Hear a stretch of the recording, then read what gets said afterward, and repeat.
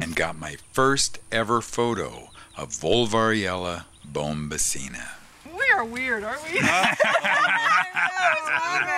Lactarius indigo. Here's a Boletus frostii. You can see the pattern. Now, if you don't know this mushroom, you are in for a treat. We have mushrooms, we have rain, and we have bugs. Lycoperdon americanum. And look at this thing, this is huge.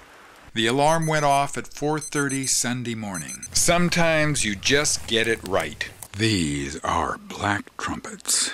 Another frequent inhabitant of the redwoods is Romeria eriospora. Notice the rusty brown spores on the stipe. One of them was Sarcoscypha coccinea, Dictyophora cinnabarina.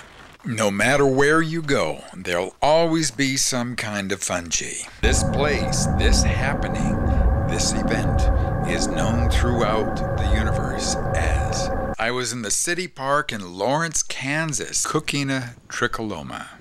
This is Podoscypha petaloides. I must say that I was pleasantly impressed by the turnout just to hunt morels in the snow. Where's the beach? but got caught in a bottleneck and dumped my camcorder in the water.